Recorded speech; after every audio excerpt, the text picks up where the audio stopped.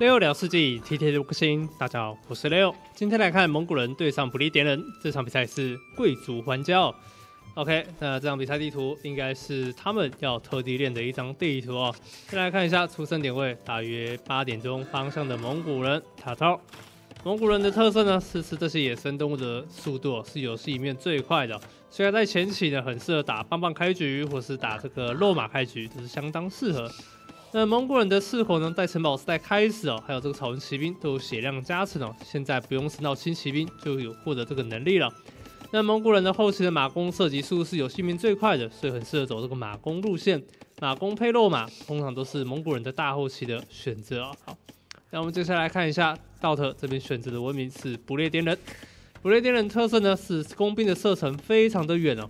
那它的骑兵路线比较弱一点，没有品种，但是有这个三级马凯，所以也可以用轻骑兵去反制对方的战矛兵。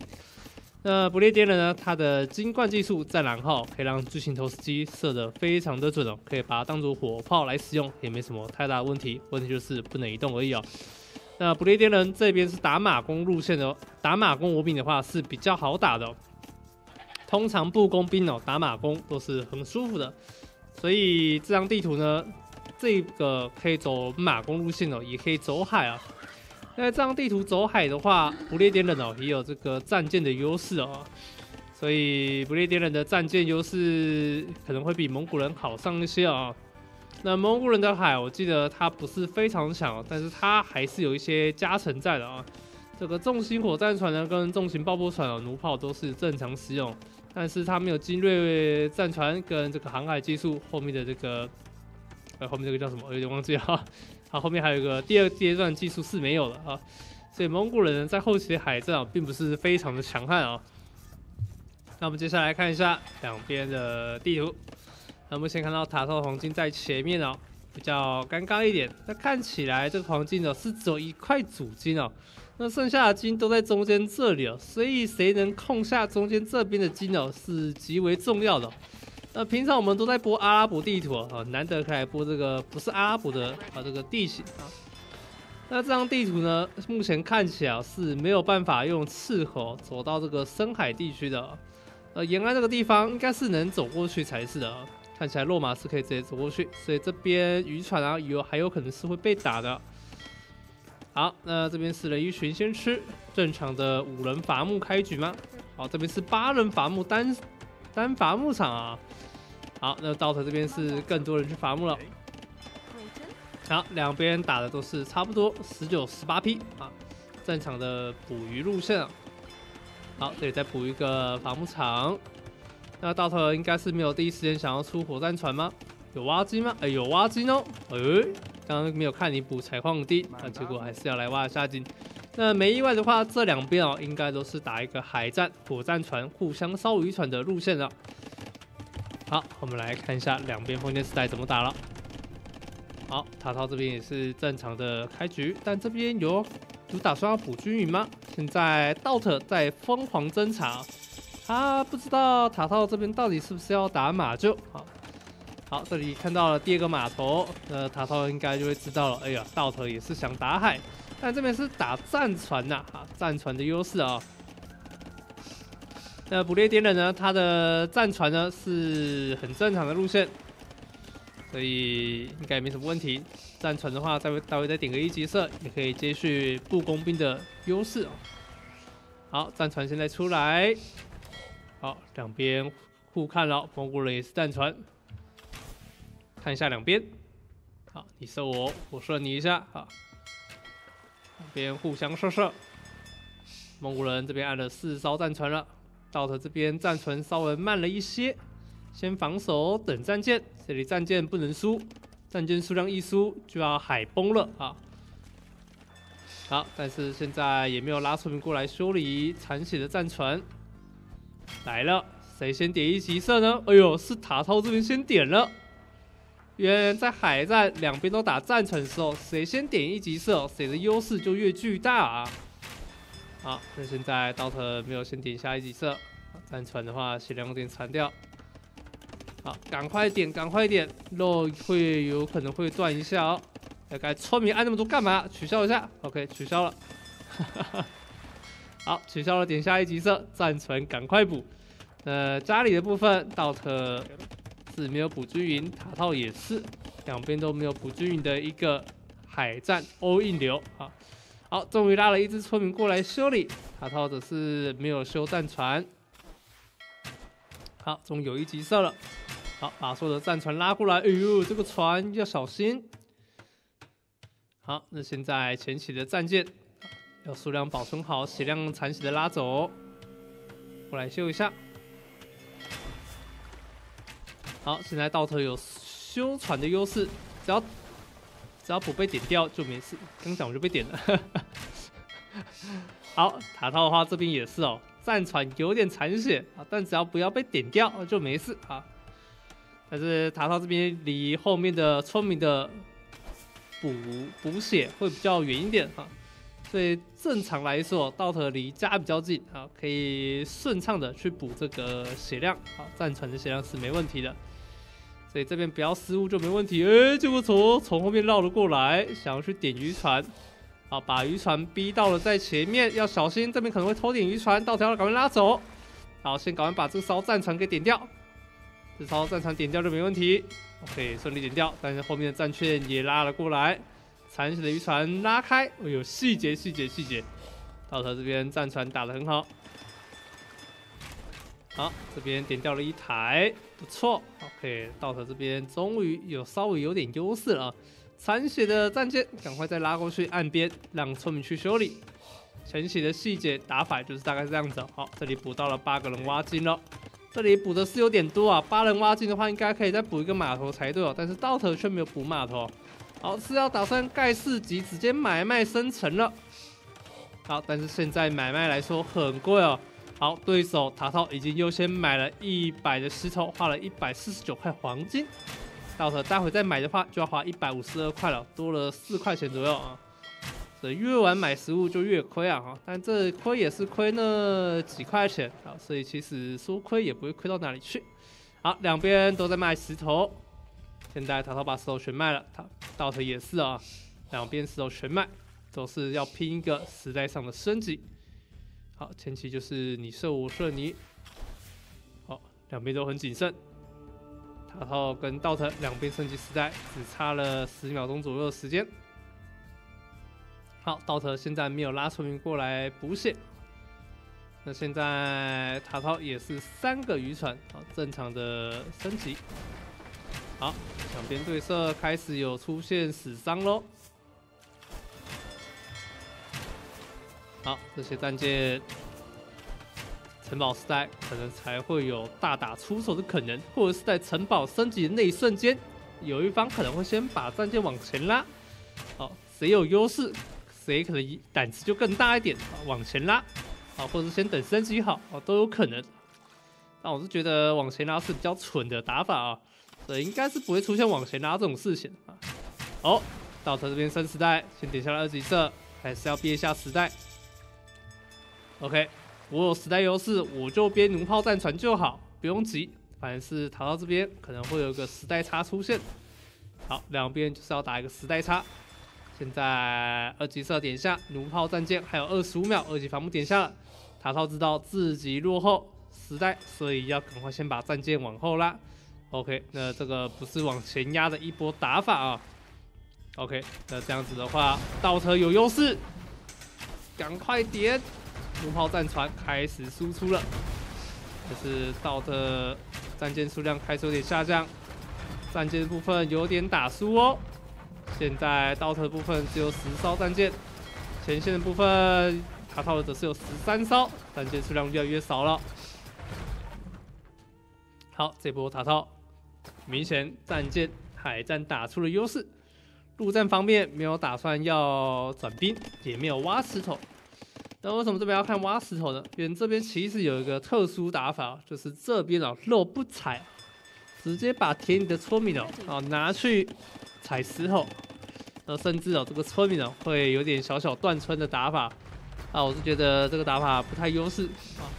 那为什么是小小断村呢？因为通常哦屯里的村民哦不去继续种田哦，也可以靠海上这个经济哦去不断村啊。所以呢，这个打法是比较极限的。但是 DOT 并没有选择这样打，那塔套也是啊，都是没有挖石头压宝策略。那这个打法很凶哦，海上继续压制，让对方没有察觉你是想来压宝的。但是 DOT 这边一直有用肉马在增场啊，所以如果要来压宝的话，可能自己也会有时间可以反制。好，那现在可以看到道头这边的食物非常多，五百多的食物，在打海战中的时候，食物是用不到的啊，所以才会有这种延伸性的打法出现啊。哎，这个打法是比较少见一点的啊，要看到也是不太容易。好，这边战船互换之后，道头的战舰数量稍微有点优势了吗？哎，有点优势了，现在是八艘打七艘啊。打到这一波交换之后，补下了四个码头，狂出弩炮战船。那到头这边呢，也是在出战船，还在出啊。那不列颠的战船现在看起来是比较稳定了，已经来到了十一艘，但是塔到这边的四艘码头继续产，到头这边补下第五个码头，还是在全走战船路线。好，那现在到特战船先点后方的，没有去点前面的巡逻的弩炮战船，并没有被塔套的战舰给吸引走。好，一直疯狂点残血的战舰，现在战舰数量好像有点打出差距喽。残血战舰也往后拉，现在塔套后面的战舰都是残的，有没有赶快点掉呢？到这边有在抖动，到特有点亏，这一波要往后拉了。但是对方又在往前，但是这里吃了很多伤害，这一波塔套可能会炸，但是道特后面又补了更多战舰过来，好像又行了。哎，这一波又是个五五开，哇，顶级海战细节真是疯狂抖动。好，先把残血的点掉吧。好，残血的点光，道特现在还在继续补战舰，战舰继续补。好，再点掉。好，又点掉了一艘。OK，继续点。现在八烧，哎，七烧对七烧，啊，变六烧了。哦哦，没有要停止的意思，全产战舰。好，现在 DOT 的村民数是五十五村对上五十四村，两边村民数差不多，都是单 TC 全爆战舰的路线啊。没有要跟你拼经济，拼的就是海上一波流。好，这边就是在练习打海战吗？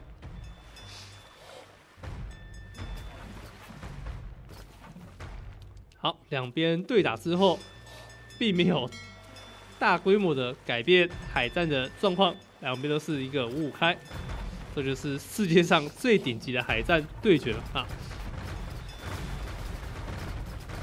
好，这边再点了，弩炮上船点后面的战舰，这边细节控制，战船要先点掉残血的才行。道特有点输了，这一波道特可能要直接被带走海战了。漂亮，卡涛这边资源量用的很极限。你看这五个人在吃肉，代表说只有两个农田的村民在采，反而是把所有的资源投资到木头跟黄金身上。道特有点大意了啊！好，可以看到这边田真的是很少。啊。那道特这边的细节哦，处理的就不够好，吃肉的村民有点过多了，肉这么多也不是要上帝王啊。只要这边海战一损失，基本上这张地图可能就打不起来了，因为这张地图的海啊不像岛屿哦，只要一丢失海啊，你全部的岛啊，这个岛的外围啊都会被受到骚扰，你的村民基本上是没有办法生活自理的，中间这个岛也很难拿下来啊。但是道特还是在去中间偷偷开采了金矿，甚至按下了僧侣。没事，海战我打输，但是我中间僧侣要来捡生物，多赚一些外快啊！看淘淘这边有没有发现呢？好像有看到吗？哎，感应到了什么吗？心电感应，有感应但不多。哦呦，道特这边居然点下了帝王时代，这一波可能有看头了。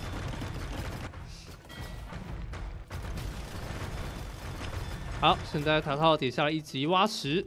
右边的战舰去往右走，想要开始环岛了。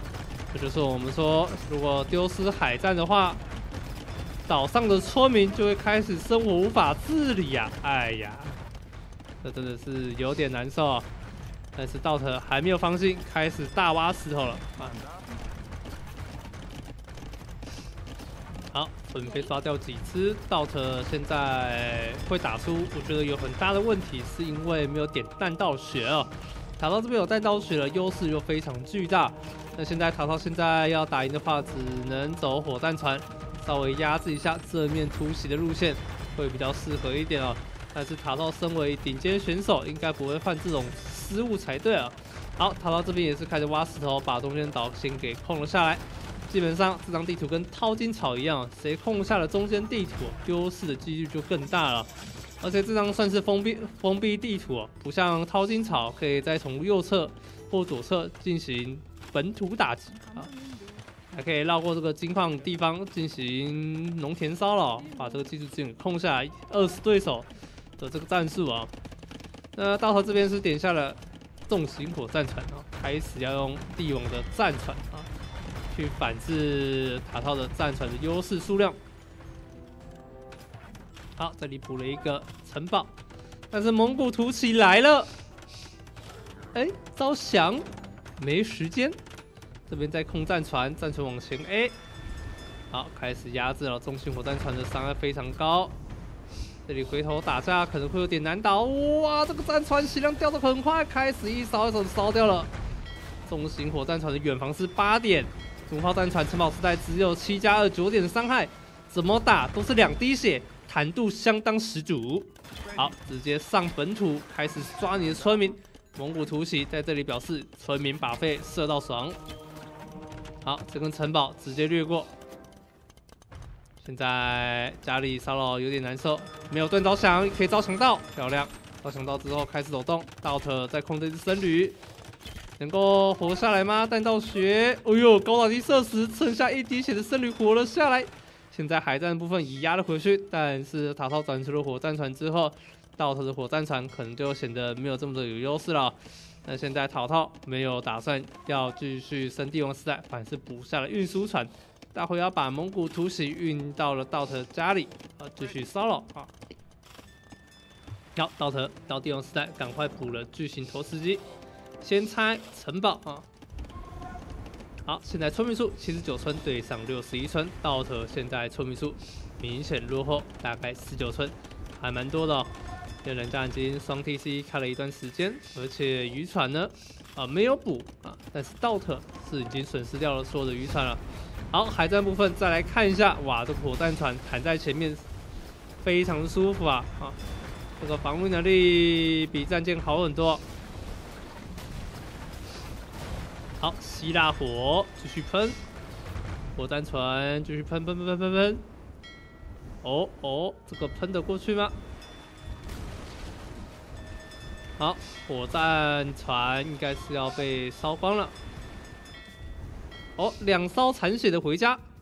好，重点是中间的巨型投石机，后面再补一个新的修道院，把这个生物再继续往回搬。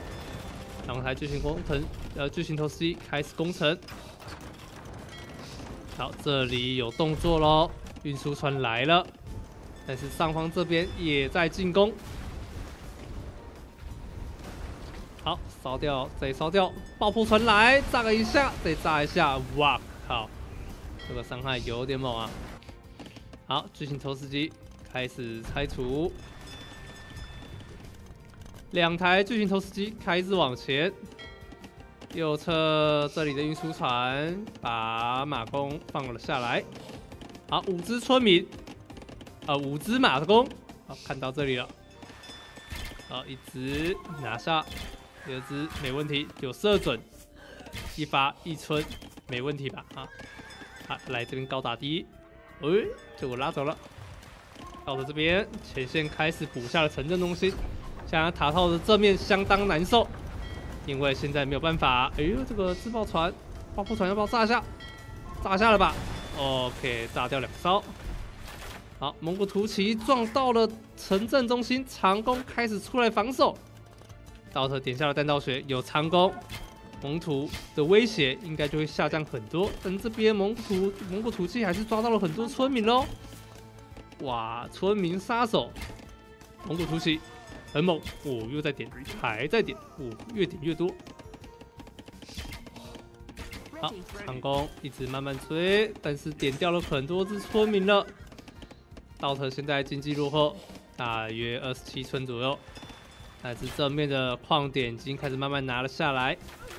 塔涛这边点下了帝王时代。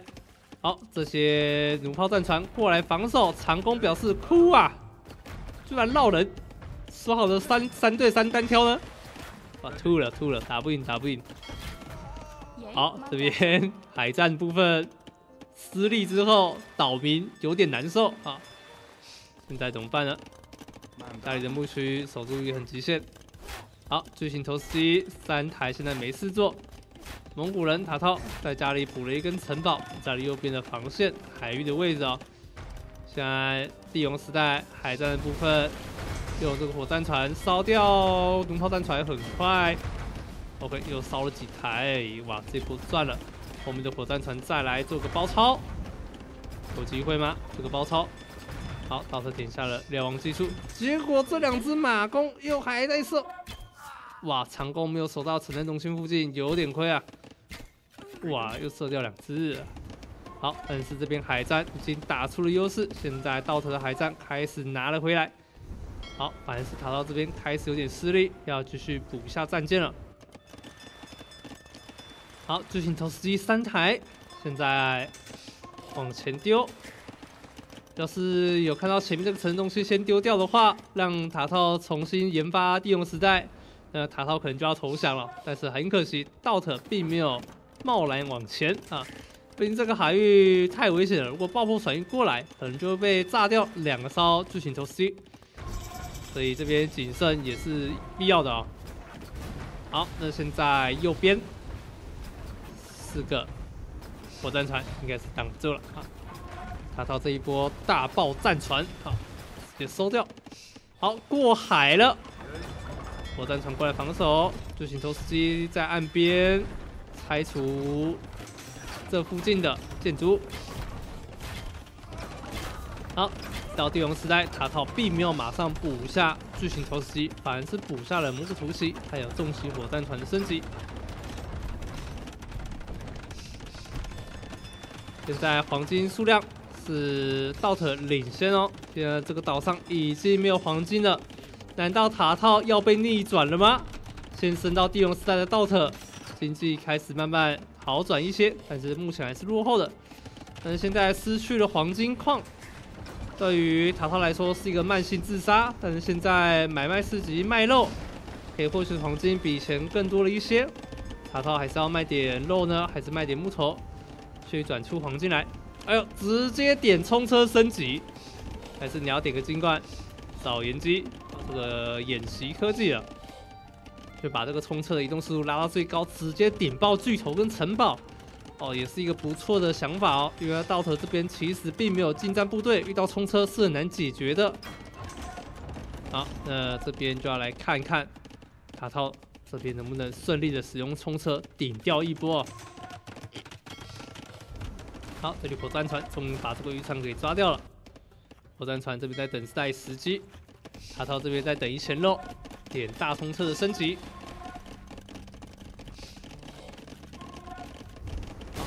好，好，这边炸一下，大冲车升级上去了。哦，巨型投石机刷掉了一塔战舰。OK，扫岩机点下，大冲车也点下了。但是长弓却走了进来，尴尬，家里其实无人防守。这里巨型投石机也拉了一台过来，并没有全部上。OK，这个过来之后，打到家里没有办法守得住。不过突骑过来可能也是有点慢。好，开始在补蒙古突袭。但蒙古突袭现在是六只在道特家里骚扰，家里其实没有东西可以挡。好，大炮这边点下马凯，还有。工程工程师，大冲车的升级以及 standby。好，右边这个工程器制造所来到了第五台了，冲车来了，道特能够守得住吗？好，赶快把蒙古突骑拉过来守一下。中间这个海域，全军要来了吗？火战船并没有第一时间在中间防守，但是道特点下了冰宫雪，直接要用村民手撕冲车。冰宫雪点下之后冲车会有额外增伤非常多。冰宫雪这一次的上次的改版哦是有加成哦。我来看一下哦，这一波，我打一下，伤害很高，哦，用村民手撕冲车效果其实很好。冰宫雪的效果有感，直接拉村民过来点掉，冲车点不进去，后面没有蒙图，落马这时候来不及按，冲车没有办法能够点掉这些城堡。哎呀，村民搞定了这些冲车，塔套损失了冲车，但是后面又来两台。好，刚刚应该是塞车哦，上班时段路途比较拥堵啊，姗姗来迟的通车，挡得住吗？好，后面的蒙土还在骚扰，哇，这边已经杀了十三村。这一波过后，道特经济越来越好，塔套的黄金已经来到了极限。落马升级，轻骑兵点不下。好，只有落马过来，但是还是有血量加成，七十九滴血，想要手撕长弓，有机会吗？二级马海还没有好，哇，砍不动，长弓活了下来。好，塔套直接打出了 GG，我们恭喜道特拿下比赛胜利。我靠，道特这一波正面扛住巨头开拆，成功的守住了中间岛屿。塔套则是在海战投掷了过多的海战关系，黄金直接见底。道特反而是失利了海战之后，转出了帝王时代的重型火战船，苟了一段时间之后，把中间的岛给拿了下来，黄金直接夺了回去。塔套凡是还占优势，慢慢变为劣势，变为劣势之后，后面就被滚雪球了。好啦，那我们今天影片就差不多到这了。那如果喜欢这部影片，请记得刷订阅。我们下次见喽，各位拜拜。